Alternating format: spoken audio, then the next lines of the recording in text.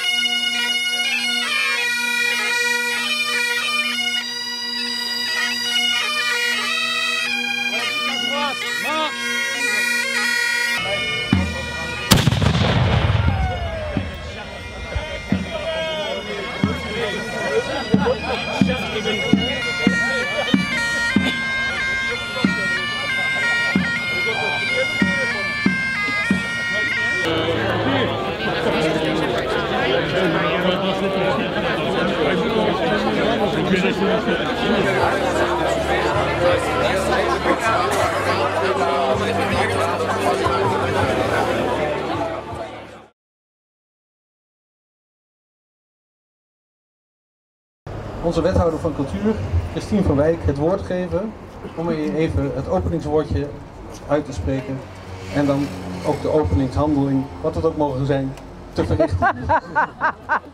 Ik heb nog geen roeiboot gezien vandaag. Goed. Het enige wat nog van dat hele Java-complex over is, is dit prachtige torentje. De gemeente houdt hem in stand, maar gelukkig is uh, Menno met zijn uh, nieuwe Twentse kunst bereid om daar elke keer weer iets moois van te maken. En dit keer met assistentie van de Jeugdkunstacademie. Um, ik wil toch zeggen dat ik ontzettend trots ben dat we in onze stad ook een aantal jonge mensen hebben die um, ja, eigenlijk zo, zo met kunst bezig willen zijn. Want, dus groot compliment aan iedereen die meedoet aan deze opleiding. Ik um, moet jullie mooie producten straks nog bekijken, maar ik durf te dat ook heel veel mensen in de stad dat de komende tijd zullen doen. En ja, ik zou zeggen, ga door met, uh, met die ontwikkeling van al die talenten. Het ziet er nu al prachtig uit en het kan alleen maar mooier worden, denk ik. En dat geldt niet alleen maar voor wat jullie maken, maar ook voor wat jullie als mens worden. Succes daarmee. Dankjewel.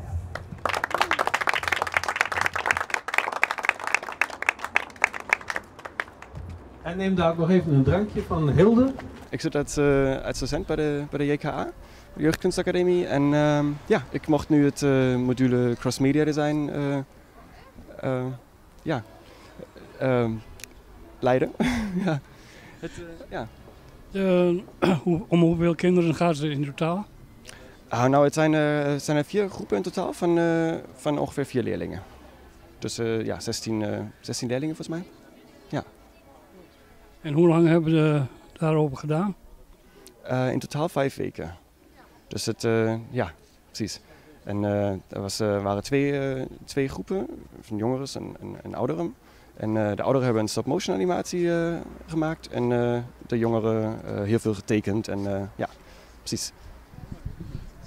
krijgt dit nog een vervolg? Wat zei je, sorry? Krijgt dit nog een vervolg? Dit uh, krijgt zeker nog een vervolg, ja. Ja, uh, ja. Dit was nu het, eer, het, eerste jaar van de, van de Jeugdkunstacademie. We zijn nu net gestart. Dus ja, het ja, gaat, gaat zeker nog wel door. Ja. Het jaar twee en ja, precies.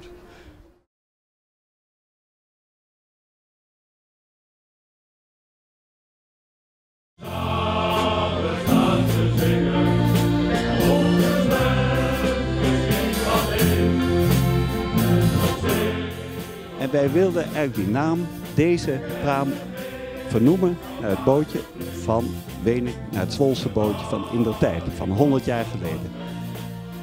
Ik wou eigenlijk verzoeken aan onze voorzitter, Ron Hubrechtse, of hij een beetje water wil tappen uit het kanaal. Perfect. Misschien dat jij de wethouder even wil instrueren hoe dit nou precies gaat beste is, is te mikken op de mensen die achter de touwtjes staan. Um, dames en heren, uh, het is mij een buitengewoon eer dat ik hier mag staan. Ik zal het niet te lang maken, want de spanning stijgt natuurlijk enorm. Maar ik wil toch de mensen die deze praam terug hebben gehaald naar Almelo een ongelooflijk groot compliment maken. Um, fantastisch opgeknapt. Ik zag net even uh, dat hij bijna 100 jaar oud is. Dus dat moet een beste klus zijn om hem weer in de vaart te brengen, denk ik. Hij moet nog echt gaan varen. Ik wens u daar natuurlijk ontzettend veel plezier en succes bij. Maar ik wil ook zeggen dat Almelo het gemeentebestuur ontzettend fijn, uh, fijn vindt dat we weer zoiets moois terug hebben. Hè. Toch draagt heel erg bij aan, aan het nieuwe imago van onze stad, Almelo Waterstad. Even zo, dat gaat dan beter hè? Goed. Ja? Ja, moet ik met het ja, hè? Maar pas op, hè, dan gaat ook ooit iets mis hè, met die deur voor te stellen. Nou, ik wens u een behouden vaart. Hey.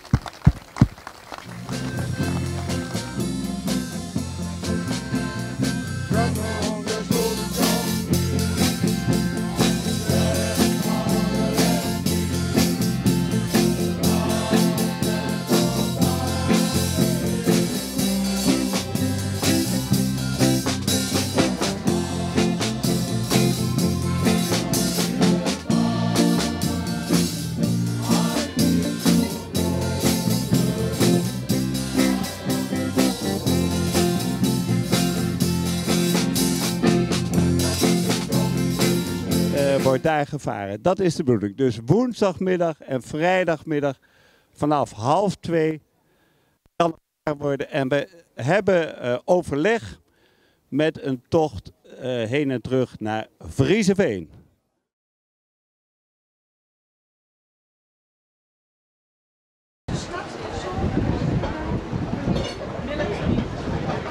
Uh, actie Lock Me Up Free Girl. Um, wat is de reden dat jij meedoet?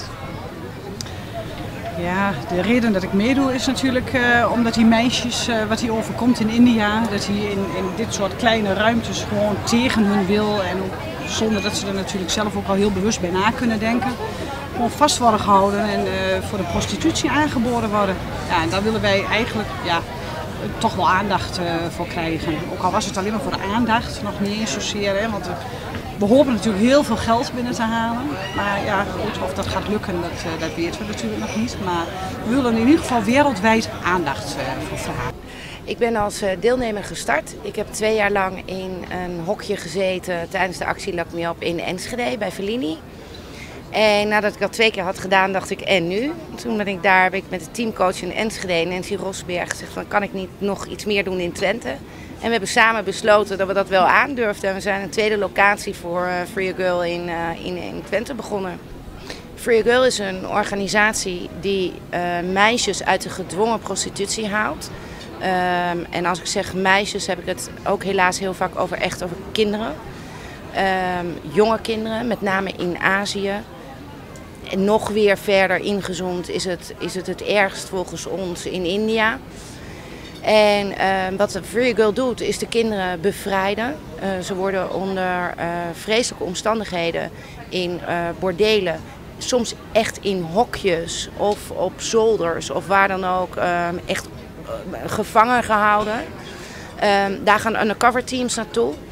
die volgen dat een tijdje. En vervolgens komt er dan in samenwerking met de autoriteiten daar een, een inval. Waarin ze overgaan tot bevrijding van deze kinderen.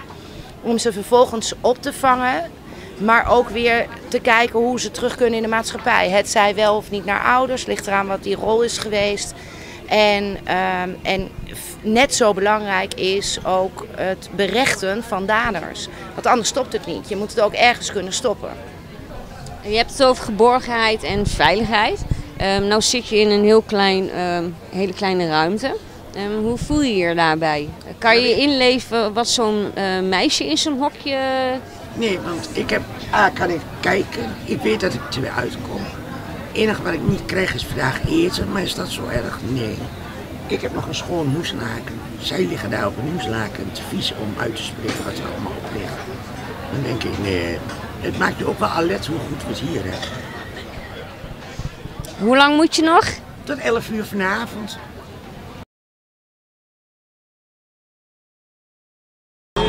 Oranje de commandant van de geallieerden, loopt ook achter de troepen. Die bekijkt op dit moment of zijn troepen goed zijn opgesteld. U ziet daar links van aan de geleerde kant de schot.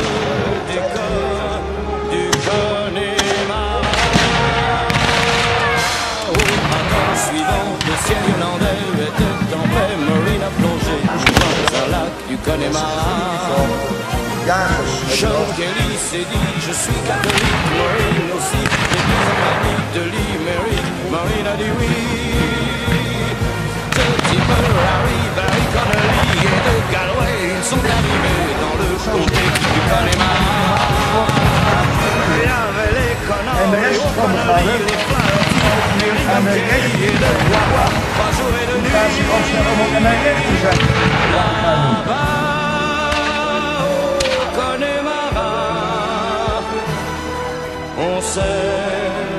De rechterzijde en die is dan aan de rechterzijde door aan de rechterzijde dus niet naar de folie.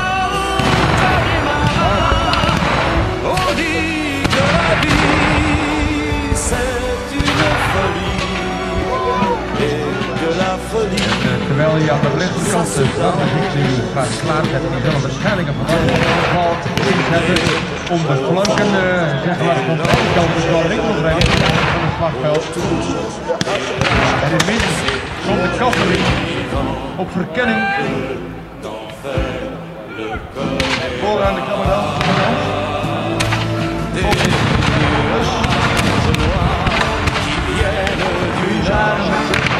Berenmus. Les lacs, les rivières, des corps du Au rythme des pluies.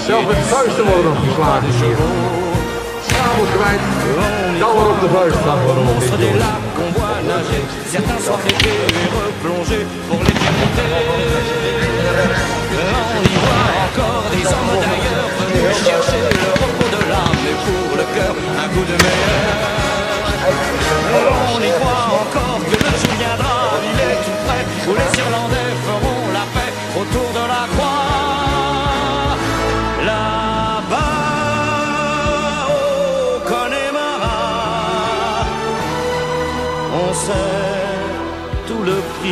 de la guerre.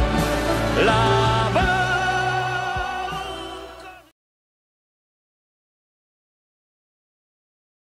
Ja, dit is de vierde keer dat wij als Almelopers ehm, een bijeenkomst hebben gepland om geld wat wij in Almelo hebben verdiend door een prachtige doorkomst te organiseren voor de Europa-run uit te mogen delen aan instanties die zich in Almelo en omstreken bezighouden met de palliatieve zorg voor kankerpatiënten. Het doel waar de Europa-run voor georganiseerd wordt. Ehm, wat is de Europa-run? Ja, de Europa-run. De langste, zeg maar, non-stop estafetteloop van in ons geval Hamburg naar Rotterdam. Een absoluut uniek evenement wat, uh, waarbij elk team met acht lopers een afstand van 570 kilometer overbrugt. En afhankelijk van de snelheid die die teams lopen, doen ze daar tussen de 35 en 52 uur over. Met deze sportieve prestatie brengen Europa-runners geld bijeen voor patiënten met kanker. Het is een avontuur, topsport, het geeft teamgeest en al die dingen ontmoeten elkaar in de Europa Run. Eh, de tweede instelling die ik graag naar voren wil hebben is evenmens. Ja,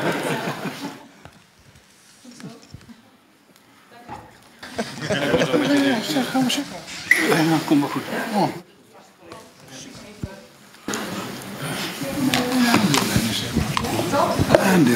Ja, ik, ik kan zeggen dat daarmee de, de eh, zijn al een aantal jaren als vrijwilligers betrokken bij die Almelo Allee en dan met name bij het hardloop-evenement.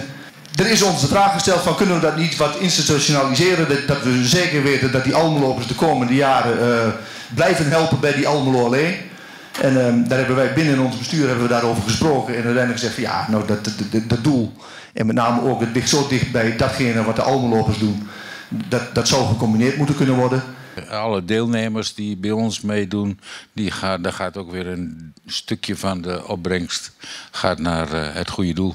Het kankerinloophuis. Oké, ja, ja, maar het is inderdaad zo dat. ehm,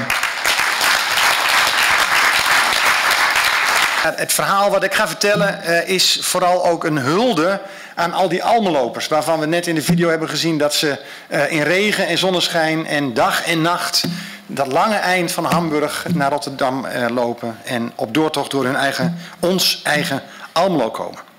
En een van die almelopers, almelopers mag ik persoonlijk toespreken. En dat bent u, meneer Kamphuis om u de Almelo-speld toe te kennen. Vanwege alle verdiensten die u voor de stichting Almelopers heeft gehad, voor de Europa Run, maar vooral ook voor onze mooie stad. Ik wil u die speld graag uitreiken.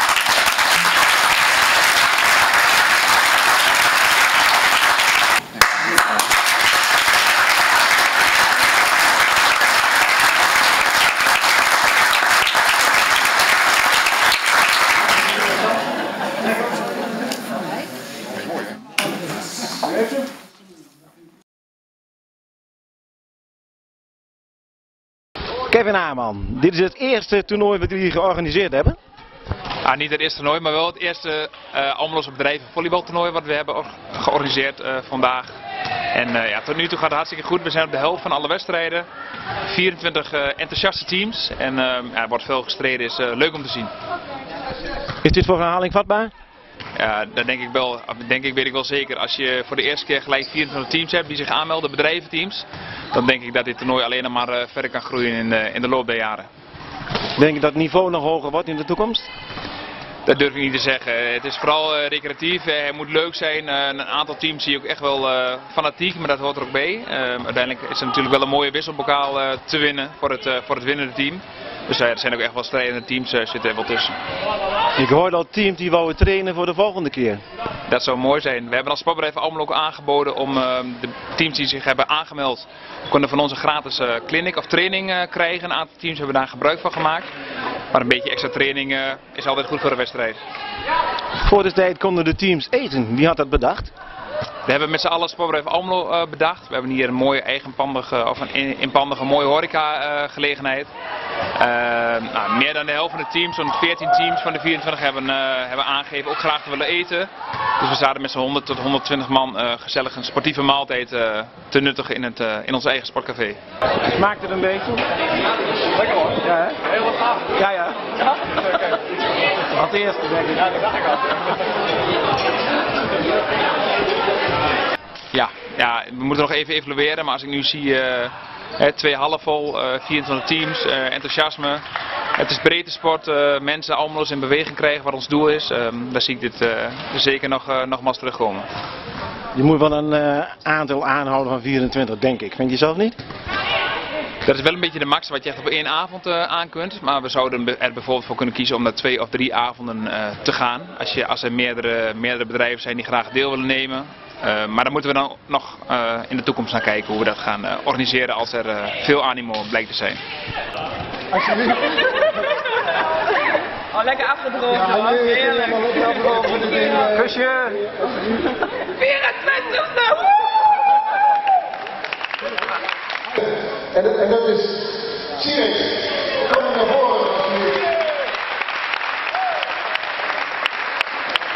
gefeliciteerd. De nummer 2, Schotterij. Gefeliciteerd.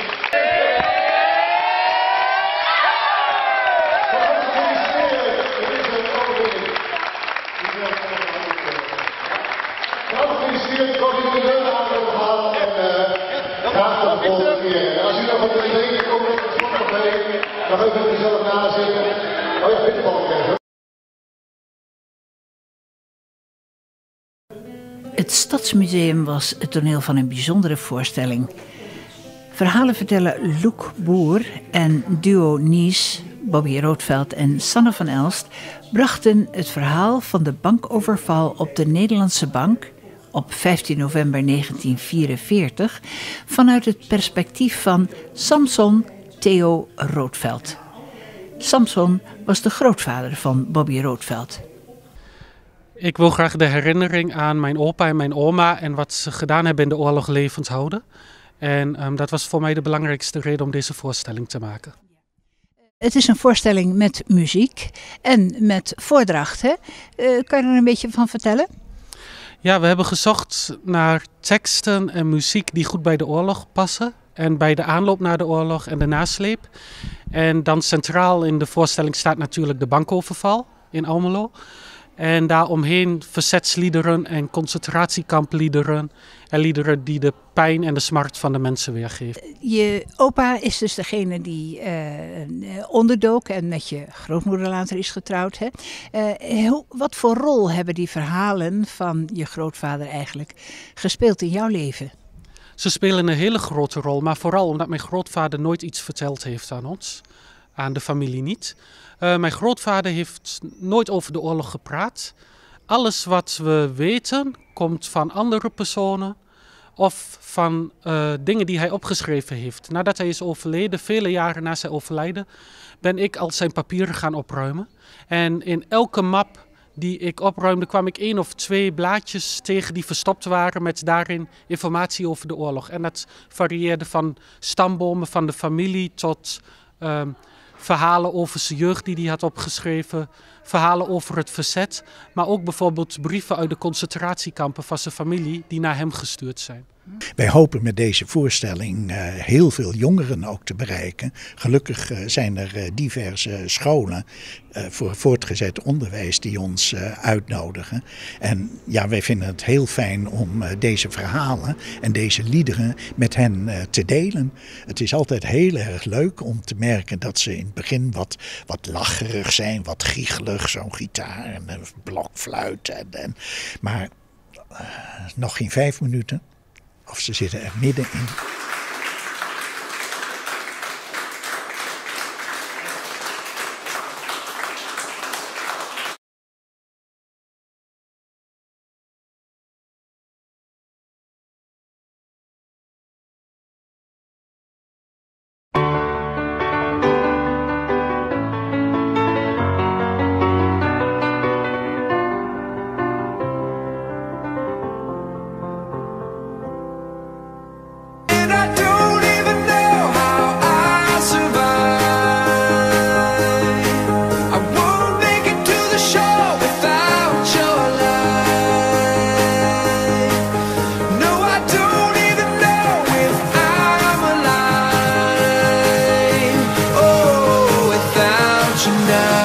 This is what it feels like.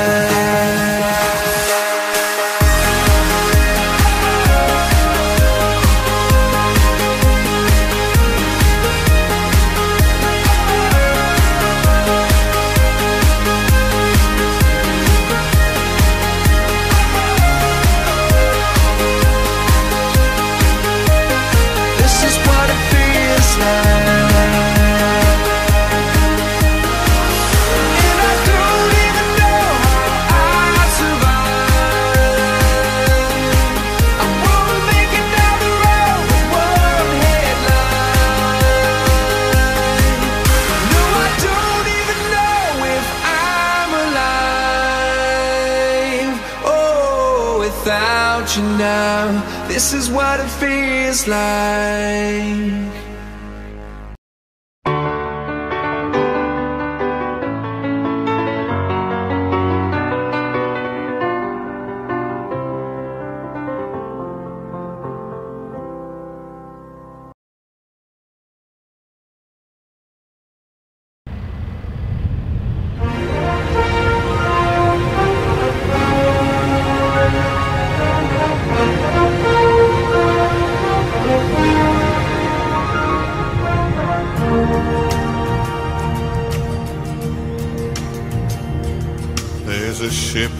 rigged and ready in the harbor.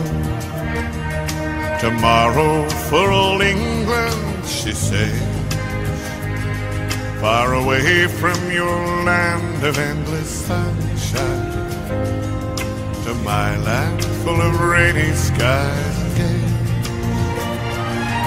And I shall be aboard that ship tomorrow. Though my heart is full of tears at this farewell. For you are beautiful, and I have loved you dearly, more dearly than the spoken word can tell. For you are beautiful, and I have loved you dearly, more dearly than the spoken word can tell.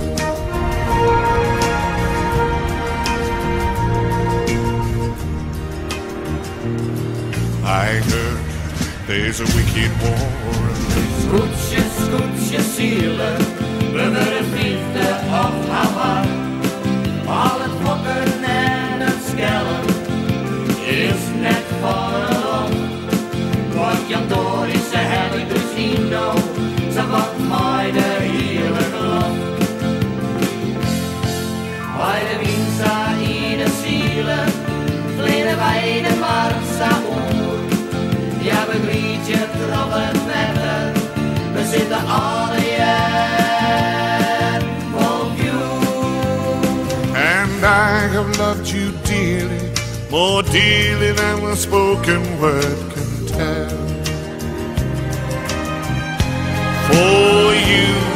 are beautiful, and I have loved you dearly, more dearly than the spoken word can tell.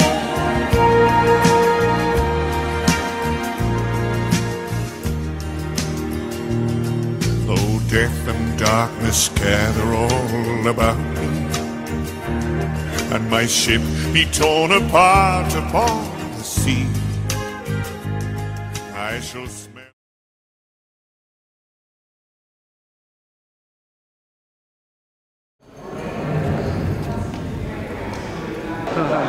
ik ben eh, Daniel Maalman. Ik ben kunstenaar, eh, geluidskunstenaar en eh, muzikant. En ik sta hier voor de, het Makersfestival. En ik maak met kinderen animaties met een kaleidoscoop.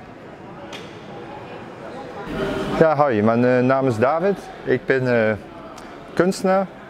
En wat we nu nodig hebben is een beetje water. Ik laat jullie zien, zo. Dus, één tablet. Die maak ik even een stuk, die komt erin. Dat is die raketen benzine, zal ik maar zeggen. Zo, beetje water erop. Tekst erop en...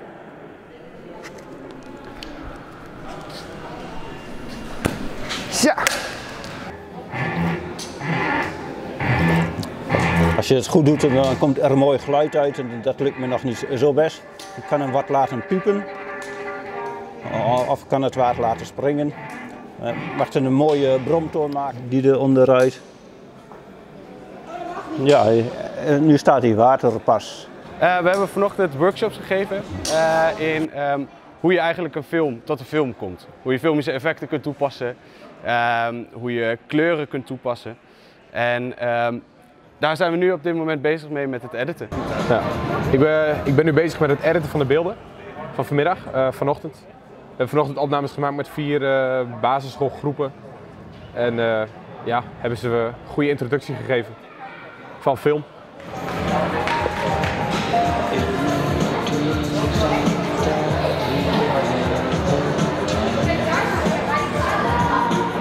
Hi. Eh, wat je ziet is een eh, Ronin van DJI. Hiermee kan je je camera stabiliseren. Als deze aanzet, zal die eh, de camera altijd stabiel houden, hoe je, wat je er ook mee doet. Dus je kan eh, hele vloeiende shots draaien zo. En alles is altijd eh, horizontaal. Wat ook erg handig is.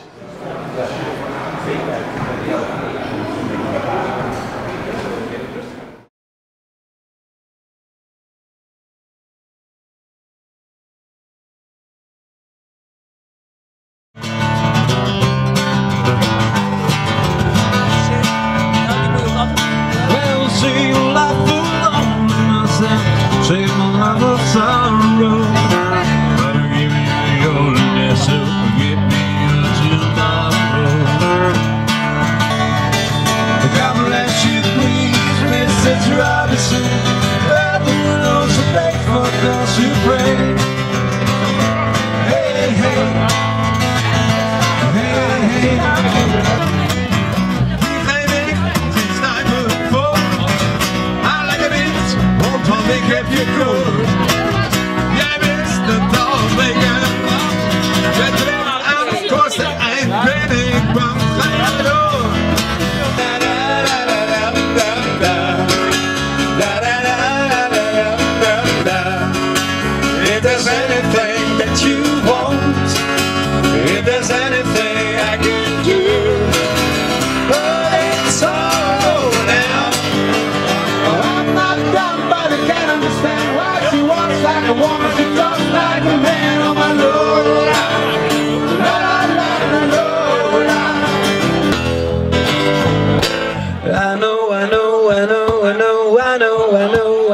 know, I know, I know, I know, I know, I know, I know.